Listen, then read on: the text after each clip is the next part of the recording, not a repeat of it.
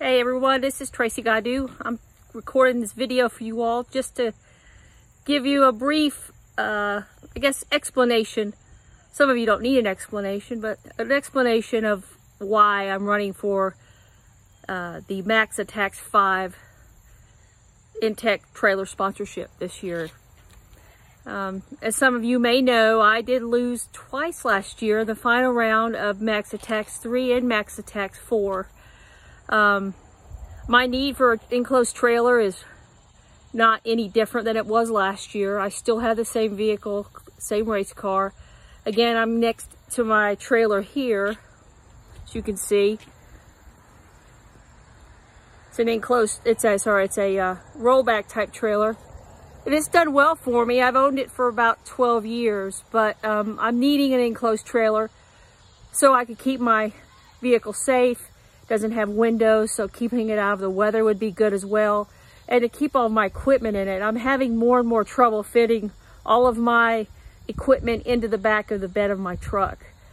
And when I travel and I have to stop overnight and I have all of that in the back of the truck, I worry a lot about it getting stolen and just even just traveling for, you know, to get gas along the way to go home or to the event get a lot of people that kind of look and I, I, just kind of would like it out of the eyesight of everybody.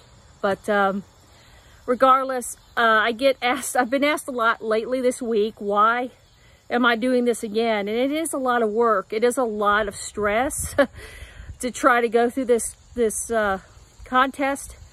But again, it's going to be so worth it when I can win that trailer. My car, um, I, my car deserves it. It's done so well. It's running really well. I won the championship last year in TT1 in NASA Southeast.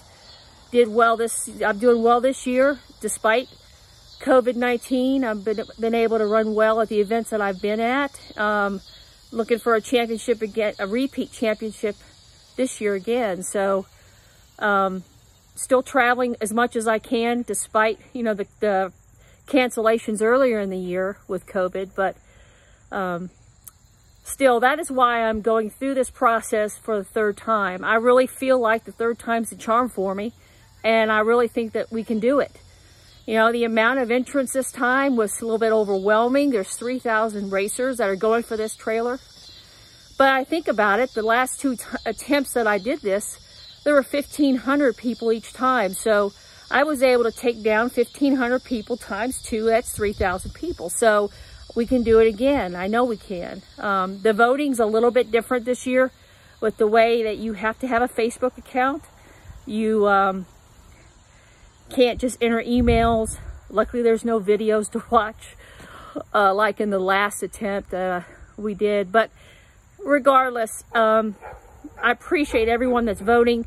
I may contact you several times on different social media uh, uh sites. I might message you both on Facebook and Instagram, maybe send you email, maybe send you a text message to remind you to vote. And I apologize for that redundancy, but still I need to make sure that you get the information that you can get to vote for me. And all your votes count.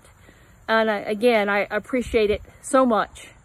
Um, let's hope we make it to that top 25. That will be a... Uh, an accomplishment in itself. But again, look, we made it to the final round both times last year.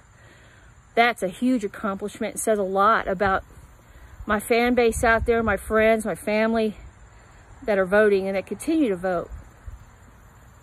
Anyway, I just wanted to give you a quick little uh, video and just tell you my thoughts about this this attempt this time and that I'm very positive. I really feel like this is going to be the time. This is our time to do it. Um, I feel like I really deserve this. Um, and just hope we can make it. and again, thank you everyone for voting.